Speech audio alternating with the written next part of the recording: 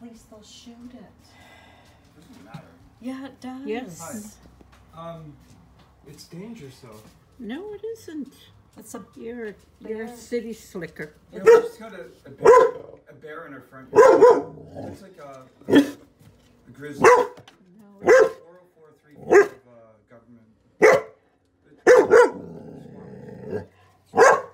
it's not no. no, it's not. What?